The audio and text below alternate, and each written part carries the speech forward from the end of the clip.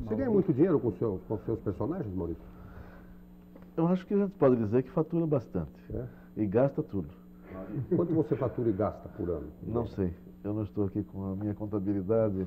De qualquer maneira, o suficiente para a gente continuar podendo desenhar no dia seguinte e podendo planejar e sonhar de novo. Quem sabe montar uma gráfica?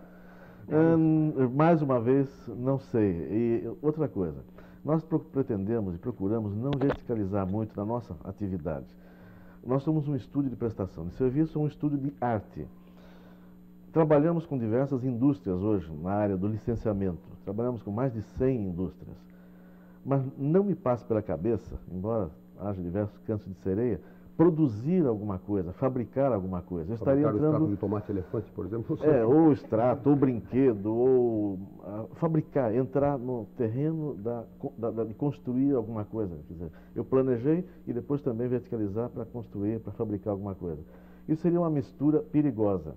E iria depois virar uma bola de neve, daí eu já quereria fazer outra coisa, desejaria outra, fazer, fabricar outra coisa, e daí precisava virar uma fábrica com outros tipos de problemas. Eu prefiro realmente crescer como estúdio, como estúdio de criação, treinar o pessoal para isso.